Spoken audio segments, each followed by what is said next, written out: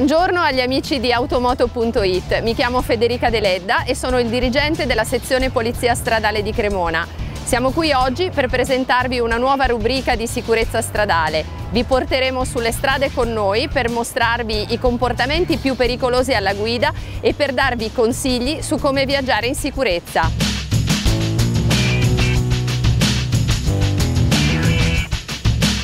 Ci troviamo in autostrada in prossimità di un portale Tutor. Tutor è un sistema di rilevazione della velocità ormai presente sul 40% delle tratte autostradali del nostro paese. Può essere utilizzato per la rilevazione della velocità istantanea oppure, come lo utilizza la Polizia Stradale, per la rilevazione della velocità media. Ci sono due portali, un portale d'ingresso e un portale d'uscita, posti ad una distanza tra i 10 e i 25 km senza soluzione di continuità. Sfatiamo alcuni luoghi comuni che circolano sul tutor.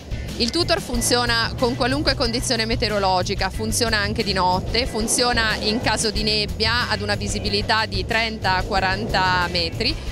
Assolutamente inutile spegnere le luci della targa, anzi pericolosissimo. Un altro comportamento molto pericoloso è spostarsi sulla corsia di emergenza. Il tutor rileva il numero di targa anche quando l'autovettura è sulla corsia di emergenza. Anzi ricordiamo che è pericolosissimo e che è comunque sanzionato con il ritiro della patente. Ai motociclisti ricordiamo solo che la targa deve essere perpendicolare all'asfalto.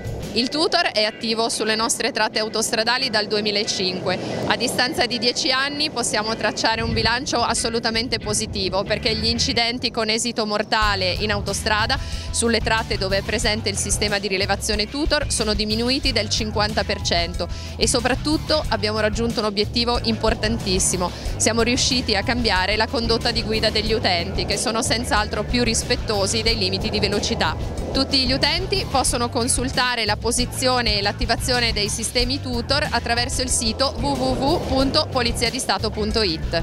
Sulle tratte in cui non è installato il sistema tutor, la polizia stradale utilizza ancora l'autovelox. Venite con noi a vedere come funziona.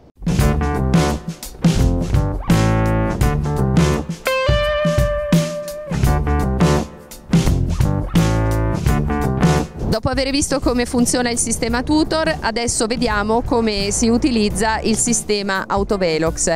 Sulle tratte dove non è presente infatti il sistema tutor, la polizia stradale controlla la violazione dei limiti di velocità attraverso quest'altro strumento. È importante per la polizia stradale controllare la violazione dei limiti di velocità perché è una delle cause principali degli incidenti stradali.